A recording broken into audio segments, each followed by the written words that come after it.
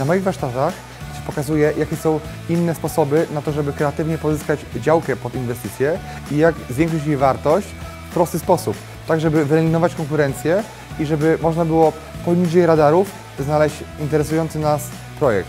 Daję moim uczestnikom dokładny schemat działania, w jaki sposób od zakupu działki mają przejść przez cały proces do momentu, w którym go skomercjalizują, sprzedadzą i będą w stanie podzielić zysk.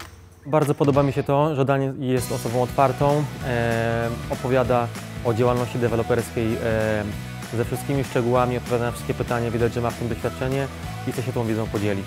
Ma też bardzo kreatywne myślenie, e, szybkie, na skróty, e, używa wielu takich schematów myślowych, których się można nauczyć od niego przejąć. E, no, jeżeli chodzi o działalność deweloperską, to Daniel odkrywa tajniki e, tej wiedzy, która do tej pory była zarezerwowana tylko dla ludzi z branży. Daniel urzekł mnie takimi informacjami jak e, delegowanie, tworzenie i budowanie e, zespołów, opieranie e, tej działalności na ludziach. Dużo ciekawej wiedzy odnośnie sposobu organizowania, jak szybko można wyznaczyć rentowność danej działki, czy warto kupić, czy nie, czy daną inwestycję wejść, jak sensownie ten proces organizować i do kogo się zwrócić o pomoc, jeżeli chodzi o specjalistyczne porady. Na szkoleniu możemy dowiedzieć się, w jaki sposób możemy optymalizować nasze e, inwestycje i rozpocząć e, proces deweloperski pod okiem eksperta. Szkolenie oceniam bardzo wysoko.